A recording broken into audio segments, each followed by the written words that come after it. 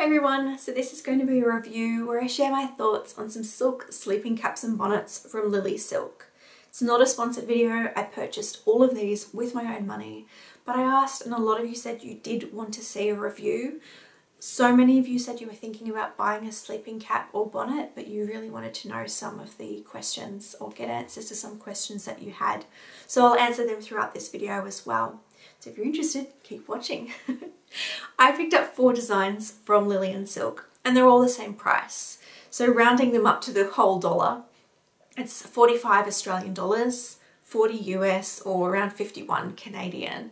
They do ship to other countries and have many other options, so check out their website if you are interested. I don't know, I, I think that might be a little bit expensive, and yes, it is silk as opposed to satin, um, but I got them when they were on sale. So I bought them for buy one get one half price, which I think is probably a better or a more appropriate price point. But I have noticed a difference, so it is up to you whether or not that's something you can afford. There are cheaper alternatives though out there. I'll just walk you through the different designs though, and if you can find one cheaper, that's great. Um, but as far as the pricing point goes, I have noticed they do have sales fairly frequently, so just keep your eye out for that. But to give you an idea of how much they go for, it's 45 Australian each. So I got four different designs. They do have more than that. Some of them have ribbons. And I think performance wise, for the most part, they all worked fairly similarly. One of them is a different shape to the others, quite significantly shaped differently. Uh, so that one had slightly different results, but for the most part, they all worked the same way. They weren't too hot. Um, I'm a fairly hot sleeper, so I don't like having a hot head or feet when I'm sleeping. And I didn't notice that I overheated. It wasn't uncomfortable wearing any of them as far as heat goes. Uh, none of them came off either. Some of them did slide a bit, but I'll go through each of them when I'm showing you the four different designs and the features about each of them. As a little bit of an idea, for me, I'm a side sleeper predominantly, but I do sleep on my back and sometimes towards my tummy, but mainly my side. I also don't like things being tucked behind my ears or bulky items like um, headbands or a lot of hair tucked behind my ears. So that's another thing that I don't like. Uh, I also have a longer face that's not very wide around the top. Uh, so if you have a different shaped face, that is also something to consider. Did I notice a difference? I'll go through and say yes. So normally how I sleep is with a silk scrunchie or a satin scrunchie and I just have my hair up on the top of my head. I do use a silk pillowcase and I've been using a silk pillowcase for many, many years, which has made a difference compared to a normal cotton or other material pillowcase. Um, so if you're not using a silk pillowcase, I'd probably recommend that anyway. It just feels nicer, it's comfortable. Um, with the actual difference between how I normally have my hair, which is, you know, like I've shown, um, to the sleeping bonnets, I did notice a difference. Curly and straight, there was a significant difference in the amount of frizz and just fluff that I had. Also what I noticed is when I left my hair natural and had my curls um, come out, the next day I didn't really have to do too much to style it, just refresh the curls slightly um, but it wasn't an absolute mess like it normally would be. Uh, one thing I also noticed that I wasn't expecting is that with me, when I sleep, I generally do get quite a sweaty or oily head. So the next day after I've washed it, uh, or two days in, it's oily to the part where it doesn't necessarily look clean anymore. So if I want my hair to look fresh and clean, particularly if I was wearing it straight, I'd have to wash it. Uh, with the sleeping bonnet, the silk sleeping caps and bonnets, I did get an extra day or two before I had to worry about that. So I was noticing that my hair wasn't getting as oily at the roots or as dry at the ends. So that did make a difference to me. And um, more so, I noticed more difference with curly hair. Uh, when I had my hair curly, I noticed it just looked less fluffy the next day. And uh, yeah, that's that it, that's it I guess. Uh, for each of the designs I'll go through the designs that I purchased. I'll show you me trying on each of the designs, like how I put them on, but also me laying on a pillow turning from side to side so you can see how it moves, I guess, because I think it's important to know. The first particular style that I purchased is called the Classic Pleated Silk Sleep Cap. So this one I bought in light blue. At the front it has a little knotted section where it's gathered going around to the back where it has a thin elastic at the back here. It is pleated at the back with a seam and there is quite a lot of room in there. The edges are quite flat and there's no elastic at the front. I think out of all four of them, this is now my favourite. Uh, the first time I wore it, I did tuck it behind my ears because I, I wasn't used to having a sleeping bonnet or cap because I hadn't used them before and it was over my ears and I just found it to be a little uncomfortable. But uh, when I wore it under my, like behind my ears, tucked in behind my ears, it did slide up a little. It didn't fall off, it never actually came off my head completely. Uh, so that's a good thing and something to keep in mind. I know a lot of you are asking about that. So none of them actually fell off. I did find though when I use it uh, more recently again, because I've been using these for a little while now, is that it was more comfortable when I had it actually over my ears. It does sit flat against the forehead when you wear it and you can position it either lower towards your eyebrows or up towards your hairline a little bit more. I do like this design. I think that if you had really, really long, thick, curly hair, you might struggle to fit it all in here. It's not the biggest cap, uh, but there is still quite a lot of room uh, when you've got, my, my hair's really fine, really thin. And even when it's curly, I don't have uh, really thick hair. Uh, so I do like this one. So this is the light blue classic pleated silk sleep cap. Putting it on is not the easiest thing, to be honest, um, but it's it's not too difficult to do. Uh, there is one that's a little bit more difficult, which is the next one that I'll show you. But I think out of all of them for me, this is probably the one that I will use the most. I found it the most comfortable, particularly when I'm sleeping on my back the thinner elastic at the back was so much more comfortable than some of the thicker elastics or tighter elastic pieces in some of the other designs. Uh, and just the shape at the front, it just felt loose enough to be comfortable, tight enough to stay on, and not too bulky. Uh, so that is the first one that I tried. The second design is the Premium Silk Turban. I picked this up in the colour taupe and it's like this golden shade. So this one is similar in design to the first one that I showed, but there are some differences. There's no knot at the front. It has a crossover section here that sits flat against the head, but it is still gathered there. Around the back you do still have elastic, but it is quite a lot thicker at the back. Now originally the first time that I used this, I still had it tucked in behind my ears and it was fairly comfortable. But again, I've been finding that now that I'm more used to having a bonnet on when I'm sleeping, having them over my ears has actually become a lot more comfortable than having them tucked in behind. This one, the most recent time that I used it, um, I ended up having to take it off because I was sleeping on my back more and I was finding that the elastic at the back here, when I was laying down, it was just becoming too tight and putting a lot of pressure on the nape of my neck. And I've, I've had a headache um, recently when I've been using this, so it kind of just applied pressure in the wrong spot. If I didn't have a headache and was sleeping on my side, it, it's not that bad. It's really still loose without being um, too loose. But this one is a lot tighter than the blue one, than the first one that I showed you. If you had a rounder face or a larger head, you may find this is too tight for you. Um, being that I have a longer and sort of not very wide head, even when I lay on my side, uh, it did pull it a bit tighter around this side. And so that is something to keep in mind is that I found this one to be a lot tighter.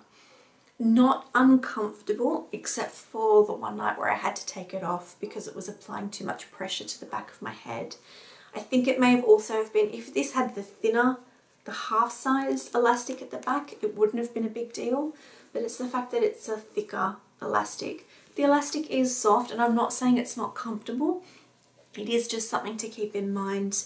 Um, but yeah, if you do have a wider head or a larger head, uh, this might not be the best idea.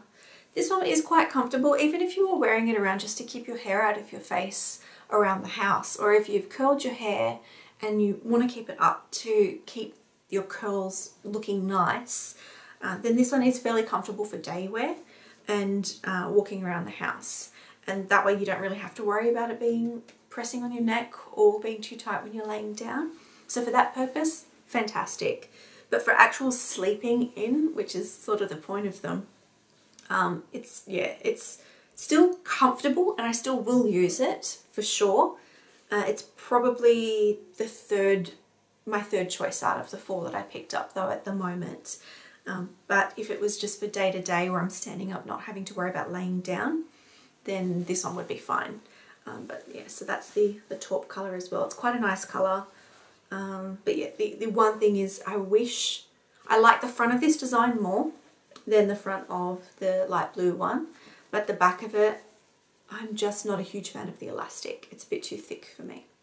But again, personal preference. It's going to fit everybody's head slightly differently and um, you'll notice that none of these have ribbons because I knew that I wouldn't like bulky ribbons or anything gathering at the back of my neck but they do have some designs with ribbons so if you prefer that then go for those but it's just something to keep in mind when looking at them.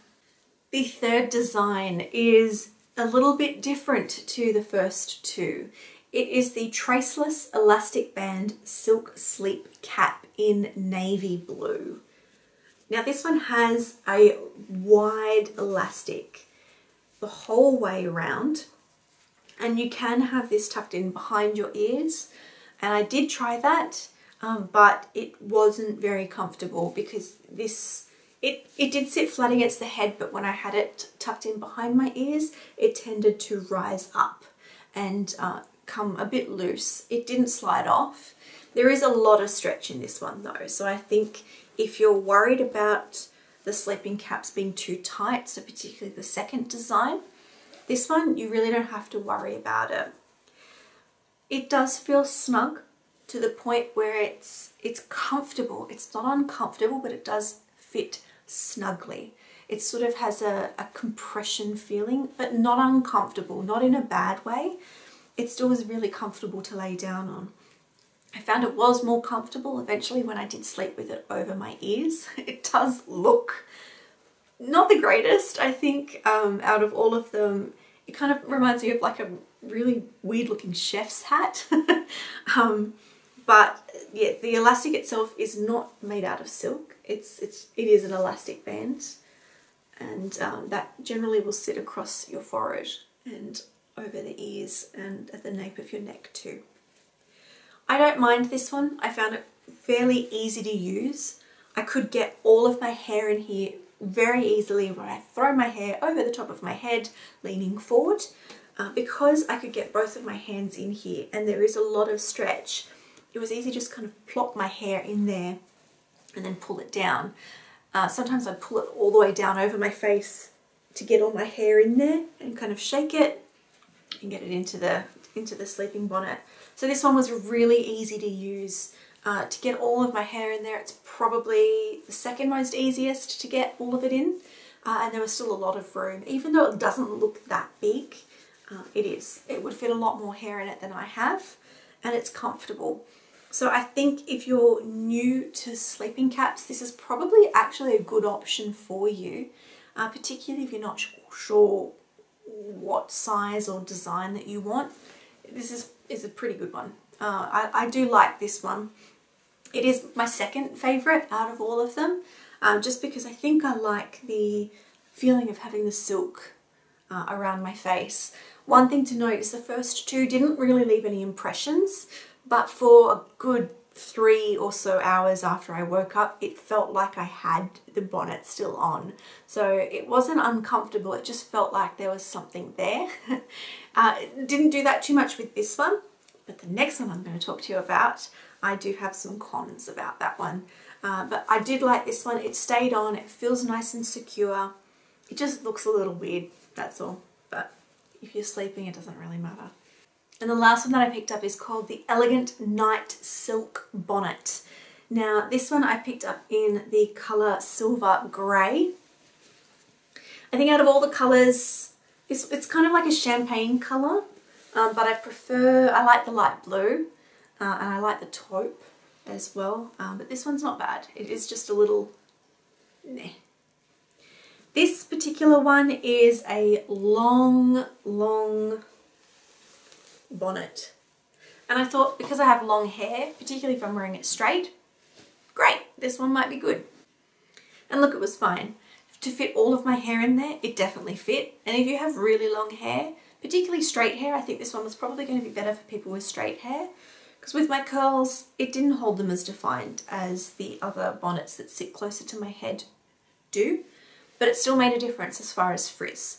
But the definition was lost a little bit um, overnight. I just, I can't, I can't wear it. Uh, so keeping in mind again that I've got a long sort of skinnier head, I don't have a very wide head, this, I just couldn't do it.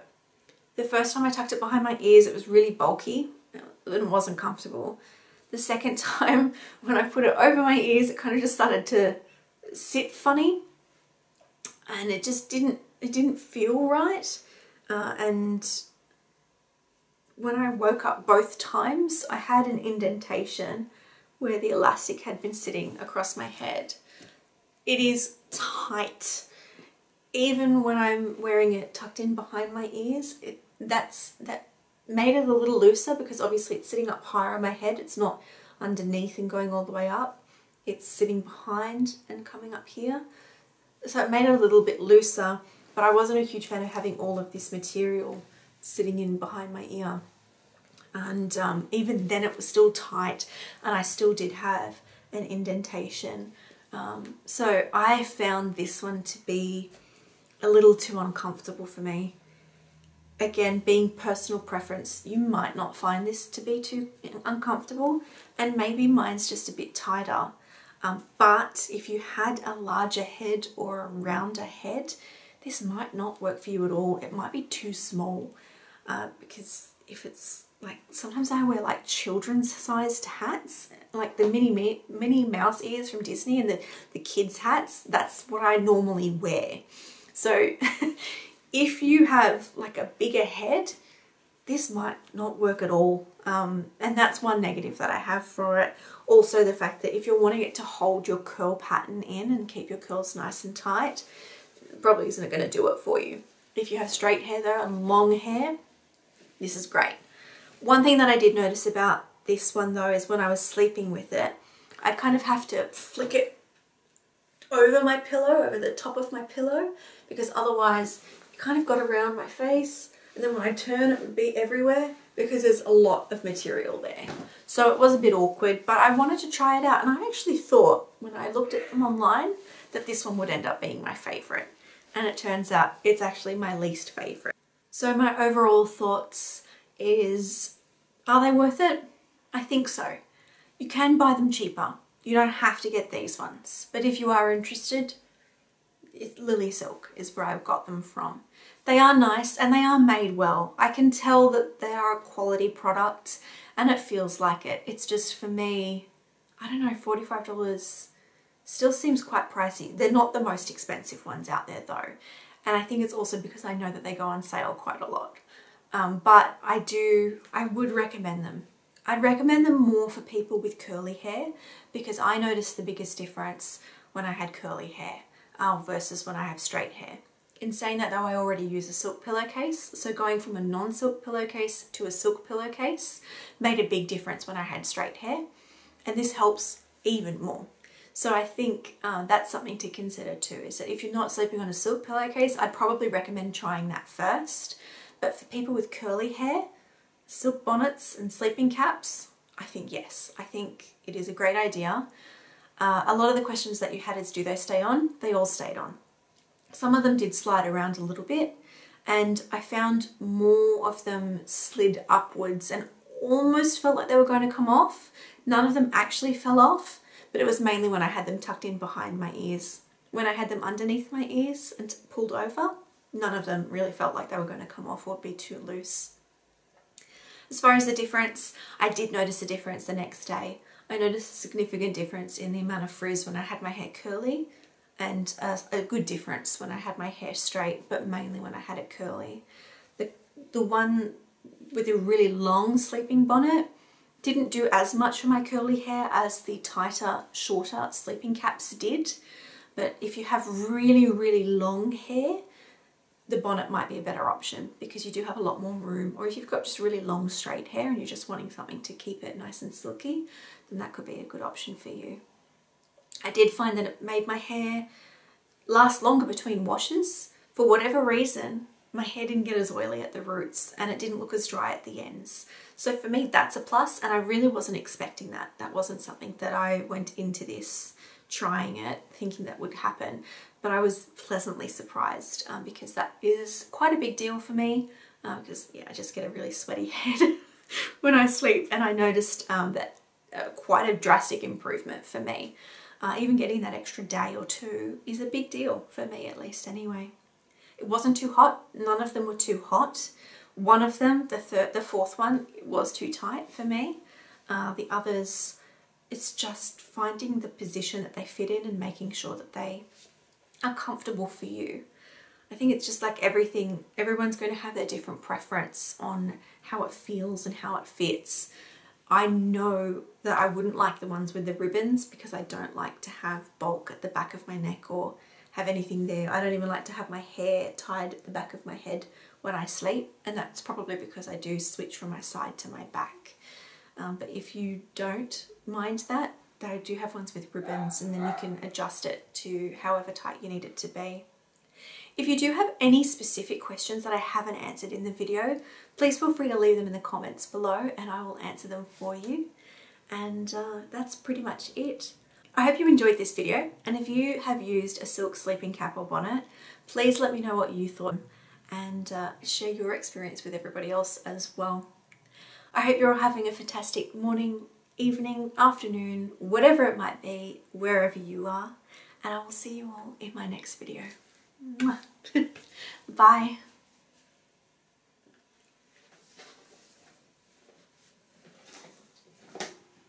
Lost my remote.